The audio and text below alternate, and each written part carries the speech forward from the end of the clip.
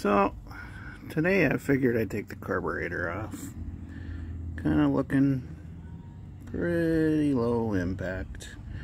Murray had the wisdom to angle the intake adapter at an angle and I've degreased everything so should be able to easy easy my neighbors are blasting the radio um, first things first you take the air cleaner off. You will see.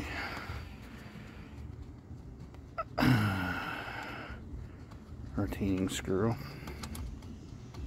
Don't remember the size but I've already removed that. And then we're going to take those two off. So I broke those two uh, loose with the 70 16ths and a 6 inch extension. And then I'm just gonna loosen them up by hand.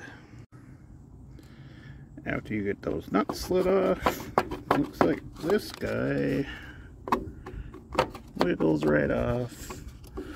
Oh, of course there's an EGR tube in the way. It's gonna pop off gonna pop that off I gotta get my hands free so once you get the EGR tube off and I just used a flathead screwdriver to wiggle that off It slides right off those two studs. Off it comes and holy moly, lots of oil. Probably coming from that EGR tube, I would guess.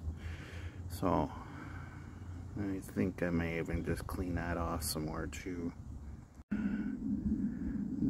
Looks like to make things more complex, these studs, studs come out with a 5 16th wrench, which I barely have anything that small. But crack those loose and it looks like these just come right out. Once those studs are unscrewed, we're going to take a pair of vice grip pliers. And once those are unscrewed, I'm going to do the idle and throttle link.